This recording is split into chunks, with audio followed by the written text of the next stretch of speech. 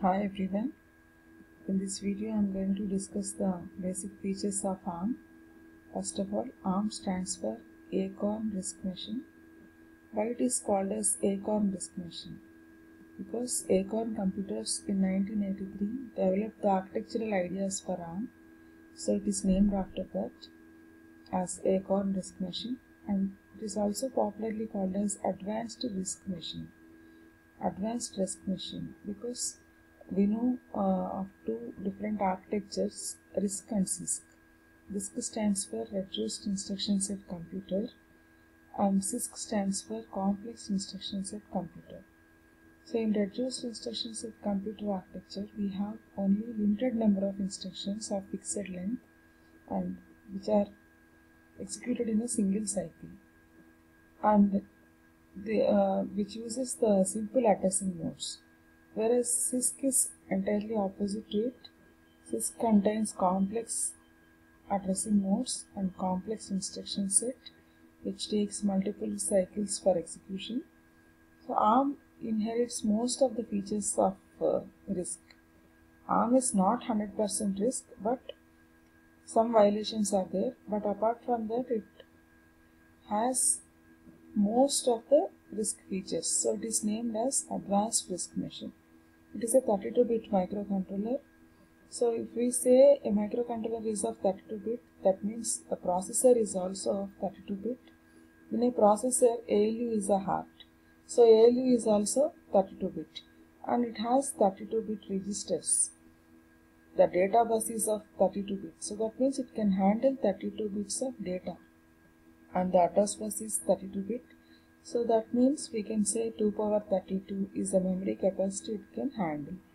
It has it follows the von neumann architecture. Von neumann architecture is also called as princeton architecture. So which means in same memory program and data both can be executed. We don't have separate memories for uh, program as well as data so this discussion is for ARM 7, for ARM 9, ARM 10, ARM 11 like that. They have they follow the Harvard architecture. Harvard architecture is having separate memories for program and data. There are seven operating modes and there are uh, seven interrupts which are also called as exceptions.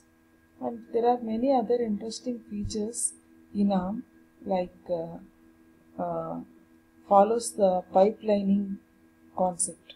Fetching, decoding, executing, all this happens in a pipelining type of mechanism which saves lot of time and which has many powerful general purpose registers and it has load store architecture. What is load store architecture?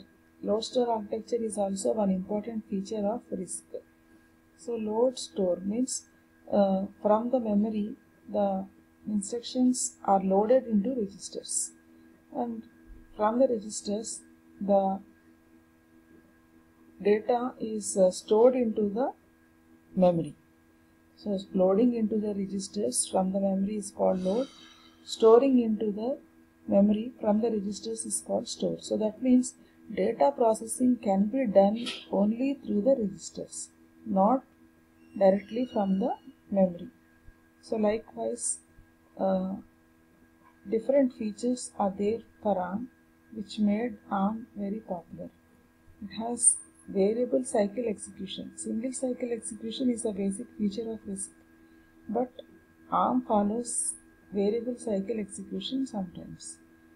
Higher code density due to presence of barrel shifter and thumb instruction set. We know ARM is nothing but the hand. Thumb is one part of ARM so likewise, thumb is a subset of ARM. Thumb has 16-bit instructions.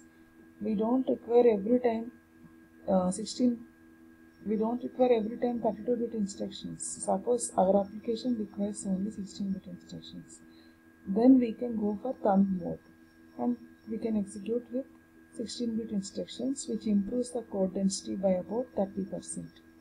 And ARM has multiply and accumulate unit for digital signal processing. So multiplication and addition both can be performed simultaneously. So multiply accumulate is a special unit of the ARM ARM also has support to Java. So likewise there are many important features of ARM. Uh, hope you all understood the features of ARM. Thank you one and all.